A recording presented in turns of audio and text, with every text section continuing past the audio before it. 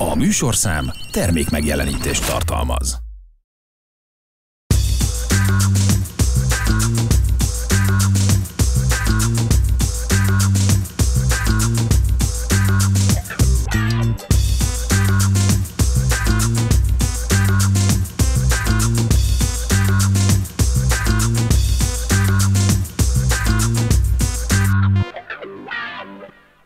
Szeretettel köszöntöm az Együtt magazin nézőit. Ahogy ezt hétről hétre megszokhatták, mindig aktuális és izgalmas témákkal készülünk Önöknek. Most sem lesz ez másképp, beavatjuk Önöket a babaúszás és az erdélyi foglalkozások kulisszatitkaiba, de ezt megelőzően ellátogatunk egy iskola találkozóra is. Tartsanak velünk!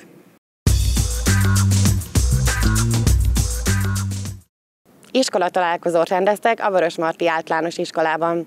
A rendezvényen a 70-es évek fiataljai emlékezhettek vissza diákéveikre. Bensőséges hangulatú szívet melengető találkozóra invitálták meg a Vörös Marti Mihály általános iskola egykori tanítóit, tanulóit, a diákok gyermekeit, unokáit egy rendhagyó iskola találkozóra. A jeles alkalommal, irodalmi programmal, kiállítással emlékeztek meg együtt töltött éveikről és az iskola névadójáról. A 72-73-as, 8-as osztály 50 éves osztálytalálkozója következett el, és 25 évvel ezelőtt is kinyitottuk iskola találkozóvá, hogy akik nem tartanak osztálytalálkozót, eljöjjenek, örüljenek, találkozzanak, és boldogok legyenek, hogy látják az egykori iskolájukat. Az iskola falait leülnek a padba, találkoznak a régi srácokkal, lányokkal. Az ötlet innen van. 25 évvel ezelőtt volt ilyen, és most az 50. évben és több évfolyamból vannak itt, és egymásra találnak, ölelkeznek, és boldogok, és olyan jó, hogy van ilyen találkozási lehetőség és a Vörös Marti, ezt, ezt én nem tagiskolának hívom, kisiskolának hívom, mert az olyan kedves nekem. És a Petőfi Irodalmi Múzeumból online kaptam Pet, Vörös Martiról nagyon szép kiállítási anyagot, melyet bekereteztünk, és jelenleg Vörös Marti kiállítást is tartunk, melyet az iskolának adományozunk. A Városi Levéltárból az iskola korai 1926-os, 33-as, 51-es tervrajzait megkaptuk másolatban és amikor egy osztály volt még csak, meg a tanári lakás, a szolgálati lakás, utána két osztály volt, aztán négy osztályt építettek fel, és ebbe a nyolc osztályváltó két műszakba járt iskolába, délelőtt, délután, hol az alsósok, hol a felsősök és a, az iskolában itt sokat szaladgáltunk kint az udvaron, gyönyörű park volt, a nagy szünetben mindig a parkban tíz óra isztunk, vagy uzsonnáztunk. Télen meg erre a folyosóra kellett kijönni tanórák között, és körbeséta volt, megmozgattak bennünket. Az iskola háta mögött két nagy füves pálya volt, focipálya, kézipálya, gyakorlati kert. Mi megtermeltük a sárgarépát, krumplit a napközi számára, amiből megfőzték nekünk a finom ételt. Nagyon-nagyon szép gyermekkorunk volt itt ebben az iskolában. A találkozón Lerner Zsolt alpolgármester köszöntötte a megjelenteket, és Székesfehérvár városa nevében ajándékokkal fejezte ki nagyra becsülését az iskola pedagógusai és diákjai iránt. Egyfajta ilyen szeretettel átitatott állapotban vannak itt a, a, az egykori tanítónénik és az egykori diákok, a gyerekek. Én nagyon örültem, amikor a, a az Ilona, az Amfiné elhívott engem erre az iskola találkozóra. Ez nem is egy egyszerű osztálytalálkozó, hanem egy iskola találkozó, ahol ugye a, a városhoz kötődő nagy költő Vörös Marti Mihály előtt is tisztelegnek egy irodalmi előadás kapcsán, és, és nyilván az 50, 55, 60, 65 évvel ezelőtt végzett diákok a, a még élő tanító, tanítókkal, tanítónénikkel találkoznak. Ez nagyon a meghívóban is gyakorlatilag ez a szeretet szimbólum, ez, ez, ez végig benne volt, és ez, ez, ez csak így lehet hozzáállni. A program részeként Péntek Imre József Attila Díjas költő visszaemlékezésében megidézte Vörös Marti Mihály életét, életművét, illetve a Székesfehérvári Vörös Marti Társaság megszületésének körülményeit. Szép alkalom, hogy egy iskola, iskolai ünnepségen összejönnek a évfordulókat megünnepelni, és megemlékeznek a névadóról is, Vörös Martiról, és láttam a kiállításban pár olyan dolgot hoztak el a Vörösmartival kapcsolatban, ami egy kicsit emlékeztet arra, hogy egy nagy író itt ebben a városban kezdte a működését, és ez a működés ez nem maradt nyomtalanul 1800-as évektől kezdve. Maradjunk abban, hogy én, mint a Vörösmarty Társaság újjá alakításának, ezt nem, talán nem hangsúlyozták ki, újjá alakításának a rész, résztvevője 1988-ban, még a rendszerváltás előtt, tehát a választások előtt megalakítottuk a Vörösmarty, újra alakítottuk a Vörösmarty Társaságot, aminek a működése korábban szerves részét képezte a város kulturális életének. Az ünnepségről természetesen nem hiányozhattak az egykori tanítónénik sem, akik visszaemlékezéseikben megerősítették, csodálatos időszak volt életükben a Vörös Marti iskolában tanítani. Én imádtam itt tanítani. Én előtte hat évig vidéken tanítottam, aztán mikor férhez mentem, akkor kerültem be Fehérvára, és ebbe az iskolába elsőnek. És 60-ban volt ez, 1960. szeptember 1-től voltam itt 30 éven keresztül. Elmehettem volna máshova, de én annyira ragaszkodtam. Olyan tisztességes emberek laktak, alig volt egy-kettő gyermekvédelmi is, voltam itt az iskolában, és ezáltal a problémás gyerekek szülei, ugye nekem meg kellett látogatnom, és a, beszámolni a, a művelődési osztálynak, ugye, a gyámhatóságnak le kellett írnom dolgokat, úgyhogy de megoldottuk, és én annyira szerettem a szülőket is, olyan megértőek voltak, én nem tudom most milyenek, mert én már 30 éve nyugdíjas vagyok, és már ugye elhagytam a 88-at, már a 89-et taposom, de még mindig szívesen eljövök, csak hát sok, már, sok az egészségügyi problémám már, ilyenkor előjönnek már, úgyhogy, de én nagyon nagy szeretettel gondolok ide-vissza. Akartak bejebb vinni a városba, de mondom nem, én itt maradok. 55-be kerültem ide 19 éves koromba, és egészen 91-ig itt tanítottam 36 évet. Úgyhogy én nekem ez gyönyörűséges, szép iskola volt, már csak azért is, mert nekem az édesapám itt volt igazgató, a Hornyák György. Utána ő mentünk az ezredéves iskolába, ott is igazgató volt, meg a Kopány utca iskolába is. Úgyhogy az én családom, három hugom, kettő, egyik óvónő, másik tanítónő, én is tanítónő lettem. És itt, itt nagyon szerettem, mert a szülők olyanok voltak, akik tényleg mind a család úgy néztünk ki. Egytől négyig tanítottam, aztán következőben megint egytől négyig volt olyan szülő, ahol, ahol két koroszt, kettő volt, egyik kislánya Heni volt, a Licseni, azt tanítottam négy évig, utána jött a következő testvér, a hajni, azt is megint hát öt évig. Úgyhogy nekem nagyon-nagyon szép emlékeim vannak itt. A találkozó résztvevőinek mosolya megerősítette, fontos, hogy méltó módon emlékezzünk gyökereinkre.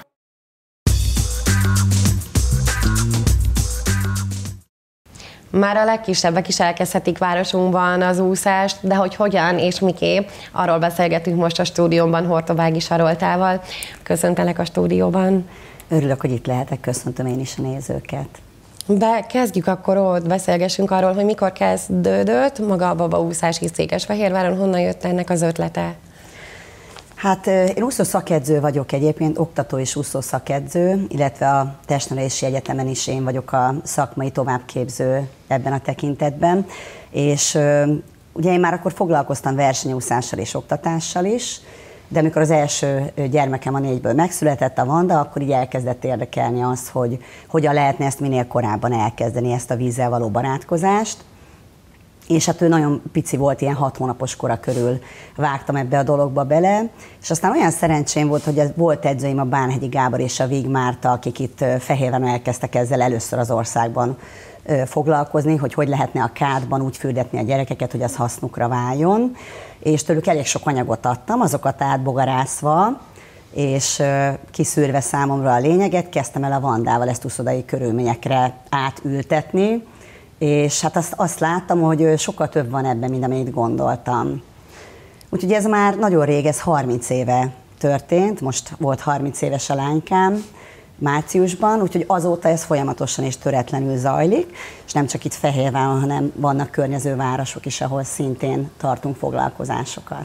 Ugye mondtad, hogy a fürdő, tehát olyan tapasztalataid vannak, hogy fürdőkádban kezdték el a vízhez való szoktatást.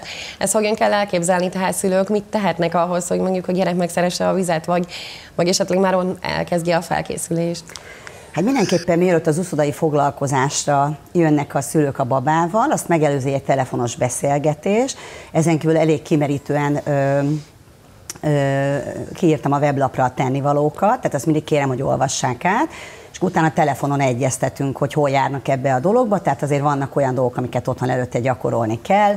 Nem kell nagy ördöngösségekre gondolni, tehát a komolyabb dolgokat az csak szakemberrel tanácsos végezni, a törpékkel nagy kádba kell fürdetni a piciket, hogy nagyobb legyen a víz mennyisége, és akkor a lebegés érzését tulajdonképpen érzik a, a, a kicsik a kádban is. Ugye akkor még olyan pöttömök, hogy az szinte olyan nekik, mint hogyha medencébe gyakorolnának. Elmagyarázom a szülőknek a, a helyes fogásokat, amikkel támogatják, hogy a pici ne nyeljen vizet, de ugyanakkor ö, ö, olyan fogásokat tanítunk nekik, amik hagyják, hogy a, a, a pindónak minél nagyobb szabad tere legyen a mozgáshoz. Mindenben segít egy, egy ilyen foglalkozás a kicsiknek? Hát így 30 év után mondhatom, hogy szinte mindenben tényleg, mert ez nem korlátozódik le a fizikai aktivitásra, hanem itt tulajdonképpen közösség kovácsolódik. Tehát azért a szülőknek sem könnyű ez a kisbabás időszak otthon, egyedül, egy kicsit elzártan a világtól, elég monoton, természetesen nagyon szerettem én is, de azért ö, hoz egy szint a családok életébe. Azon kívül talán a legfontosabb hozadéka az, hogy vidámabb lesz az anyuka, akkor vidámabb a baba is, barátságok születnek, és hát mondhatom, hogy én is szombatonként fejében úgy megyek be az usziba, illetve péntek délután is most már van babaúszás, mert a szombati napot gyakorlatilag kinőttük, olyan sokan vagyunk, hogy hogy szinte pontosan tudom fejbe, hogy, hogy, hogy kik várnak ott rám, és egy kicsit olyan, mintha a második uh-huh. családomhoz uh-huh. mennék már, mert van, aki már a harmadik gyerekével jár, van, aki már 12 éves, és még mindig jön.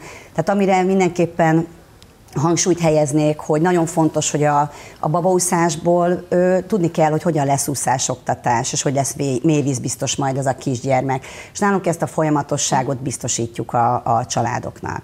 A négy hónapot mindig kérem azért a szülőktől, hogy várjuk meg. Persze természetesen vannak eltérő fejlődésű gyerekek, uh-huh. tehát tényleg van négy hónapos gyerek, aki már 8 kiló, és akkor nyilván ő korábban betölti a 6 kilót, ami a, az a súly, ami, ami, aminek meg kell lennie ahhoz, hogy uh-huh. úszodai körülmények között tudja jönni a pici úszni, illetve a három-négy hónapos oltások, hogyha megvannak, illetve az otthoni előkészületek, azután tudnak jönni úszodai keretek közé úszni a gyerekek. És egyébként, hogy tehát a, fizikailag a gyerek, a gyereket az mennyiben fejleszti egy, egy ilyen foglalkozás? Ugye beszéltél itt arról, hogy közösségileg Így nagyon van. jó. Így Fizikailag van. mi az, amit fejleszhet? Hát ugye az úszásnak hogy mik a jótékony hatásai, ezt mindenki tudja, ezek mind érvényesek a babaúszásra. Ami pluszt ad a babaúszás az úszás tekintetében, nyilván a gyerekek értelmére itt nem lehet hatni, mert nagyon pici gyerekekkel dolgozunk. Van egy úgynevezett búvárreflexük, amit kihasználva tudunk víz alá bújni, Természetesen ezt csak megfelelően képzett oktató segítségével javaslom, hogy gyakorolják a szülők, és ebből valóban, ahogy a reflex szép lassan leépül, valóban egy úszástudás lesz majd. Itt nagyon fontos elmondanom azt, hogy, hogy nagyon sok helyen három éves gyerekeket is babaként kezelnek, és nem tudják, hogy hogy, le, hogy kell ebből úszást varázsolni, mert arra már képességük nem, nem determinálja őket, hogy azt csinálják, és ezért megragadnak ezen a szinten. Tehát például korábban azért volt megosztó a babaúszásról a vélemény, mert nagyon sok ilyen kutyaúszásban közlekedő gyereket adott aztán az úszóoktatóknak, és onnan valóban sokkal nehezebb egy gyereket megtanítani úszni, hogy egy rossz mozgást ki kell javítani, mint hogyha ste, úgymond egy tiszta lappal kapsz egy kisgyermeket, aki az úszás visszaszoktatás, majd úszásoktatásra kerül hozzád. Tehát nálunk ez a különlegessége a dolognak, hogy itt nem futószalag szerűen mennek a dolgok, és itt egy olyan szakmai stáb vesz engem körül, akik valóban tudják azt, hogy a babaúszás, visszaszoktatás, úszásoktatás az hogyan épül fel. A fizikai dolgokra pedig visszatérve, egyébként szocializálódnak is itt a gyerekek. Tehát az, hogy itt meg kell fognia, el kell engednie valamit, osztoznia kell egy másik kisgyerekkel, egy körjáték során, ezek mind segítik az ő fejlődését.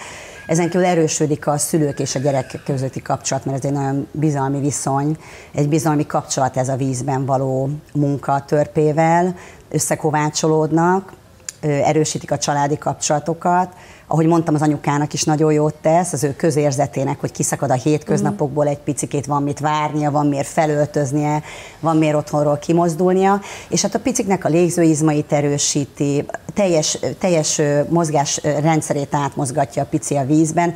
Ugye a vízben való mozgásnál nincsen gravitációt, lebegés van, és ezt kihasználva sokkal aktívabban tud mozogni, mint a szárazföldön, hiszen egy pár hónapos kisgyerek a szárazföldön teljesen passzív.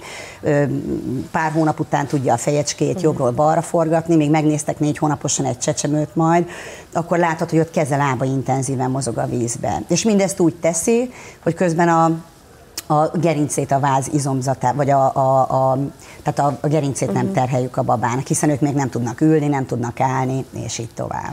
Mondtad, hogy erősíti a szülő meg a gyerek közötti kapcsolatot. Mesélj arról, hogy kell elképzelni egy ilyen foglalkozást, mert nyilván a pici ilyenkor akkor nem egyedül van a vízben. Így van, így van. Általában azt vettem észre, hogy szoktak választani a szülők, hogy a törpe kivel dolgozik. Tehát két szülő sok a vízbe egy kisgyerekhez, nem is férnek hozzá, zavar minket is a, az óratartásban, és nagyon sok apuka jön nagy örömünkre, ugyanis ilyenkor Ilyenkor egy kicsit az anyuka is talán ki tud szakadni ebből a gyermeknevelésből, az apuka egy picit, picit be tud vonódni, hiszen az elején azért a szoptatást, a baba körüli teendőket zömében az édesanyák végzik.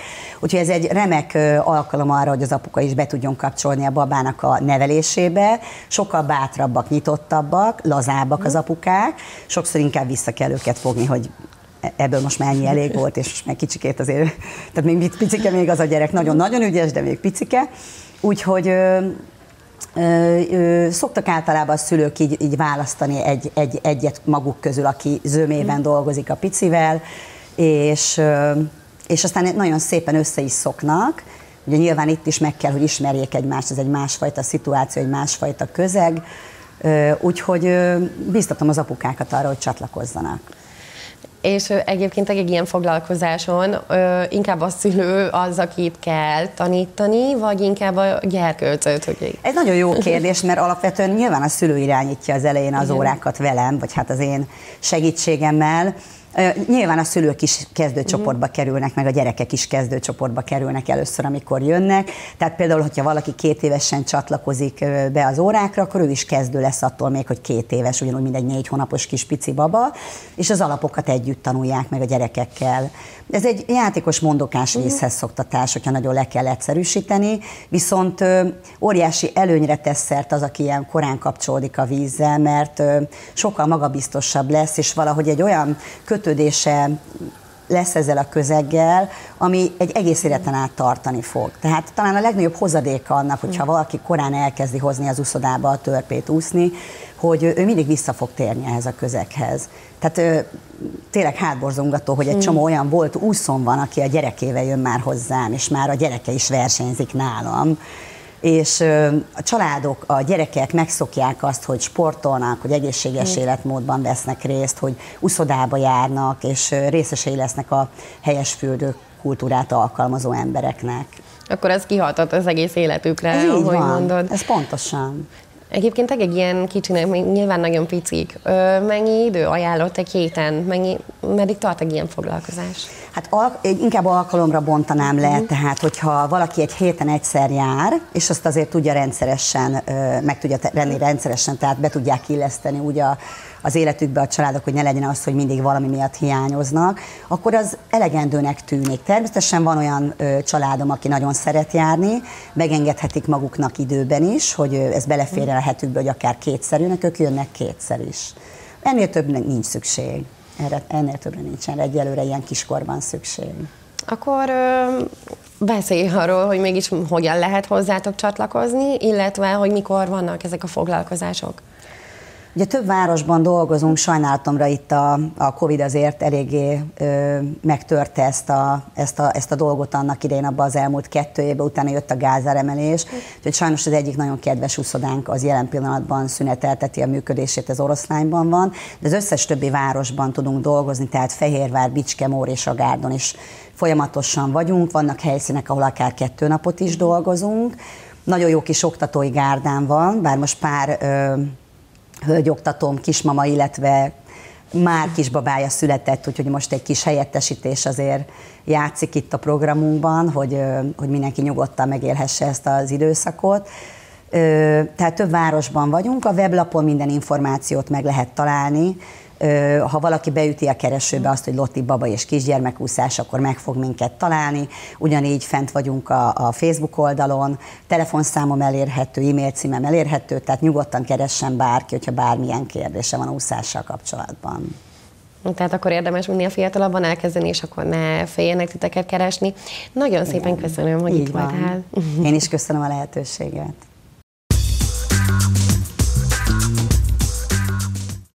Távol a város zajától, elszakadva a hagyományos négy fal közötti foglalkozás típusoktól, ezúttal az erdő adott otthont a gyermekek fejlesztő tornájának. A Be az erdőbe című tréning keretében általános iskolás gyerekek vehetnek részt érdekes foglalkozásokon. De hogy hogyan is zajlik mindez, illetve mindenben segíthet a gyerkőcöknek, annak kulisszatitkaiba tekinthetnek most benézőink.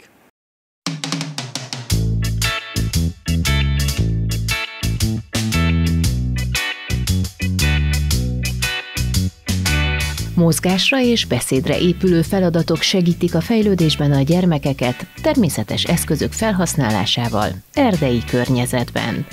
A Be az erdőbe című tréning hétről hétre heti két alkalommal várja a kicsiket, akik játékos formában fejlődhetnek, tanulhatnak. Ez egy olyan foglalkozás, ami a beszédre, az érzékelésre és a mozgásra épül. Mindenféle gyereket várunk, olyat is, akinek van egy kis problémája mozgással, kommunikációval, vagy éppen a kudarctűréssel, de azokat a gyerekeket is várjuk, akiknek semmi gondjuk nincs, csak nagyon szeretnének kint a szabadban mozogni, és mindenféle tanulási képességet tudunk fejleszteni ezekkel a foglalkozásokkal. Az erdei foglalkozások mindössze másfél éve kezdődtek, de Erdélyi Éva már jelentős eredményről tudott beszámolni. Nagyon nagyon-nagyon jó tapasztalataink vannak. Van olyan kislány, akinek az egyensúlyérzékérésével volt nagyon nagy gond, nem mert átmenni a hídon, itt a Soston, és a két hónap után a Bibic ö, ö, kilátóra is már fel, felment velünk. Egyszerűen elve, elfelejtette, hogy nem mer átmenni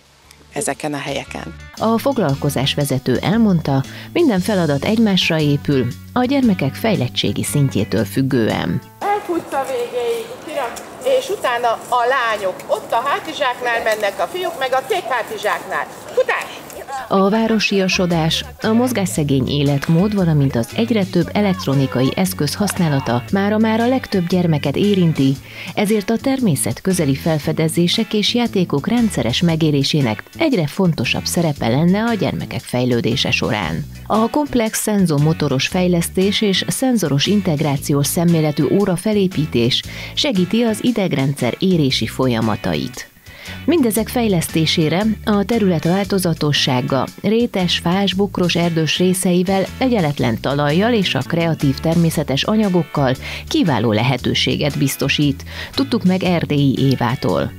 Emellett a természet közelségében számtalan lehetőség kínálkozik az önkifejezésre, a kibontakozásra, a társas kapcsolatok erősítésére. Éppen erről számolt be az egyik kisfiú édesanyja is, akik már egy éve járnak az erdőbe, heti minimum egyszer. Abszolút pozitív tapasztalataink vannak. Bence kifejezetten nagy mozgásigényű gyerek, ezért az, hogy itt kint rohangázhat, ez, ez mindenképpen jó hatással volt rá. Aztán az óvodából is már tavasszal kaptuk azokat a visszajelzéseket, hogy nagyon sokat fejlődött önmegtartóztatásban, higgadságban, már jobban kooperált a többiekkel, leült így rajzolni, részt vett a foglalkozásokban, ami korábban nem volt jellemző, tehát inkább félreült és autózott, úgyhogy abszolút pozitívok a tapasztalataink. De nem csak az édesanyja vélekedik így, fia Kertész Bence is szívesen tölti szabad idejét barátai társaságában. A barátaim is ide járnak. És mit szoktatok csinálni egy ilyen foglalkozáson? Sok mindent. Mi az, amit a legjobban szeret? Amikor a dorkával tudok játszani.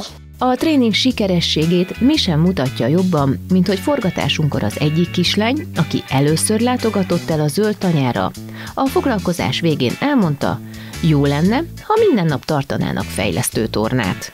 A szervezők habár igyekeznek eleget tenni az igényeknek, egyelőre kedden és csütörtökön várják a gyerkőcöket 16 óra 30 perctől. A részvétel regisztrációhoz kötött, bővebb információt pedig a Be az erdőbe elnevezésű esemény közösségi oldalán találhatnak.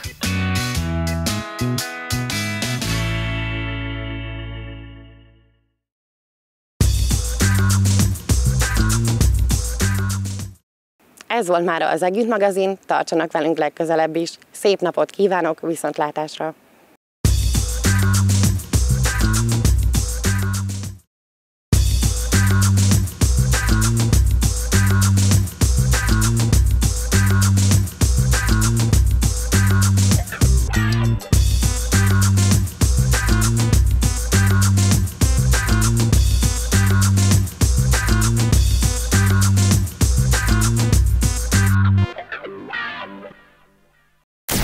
Műsorszám termék megjelenítést tartalmazott.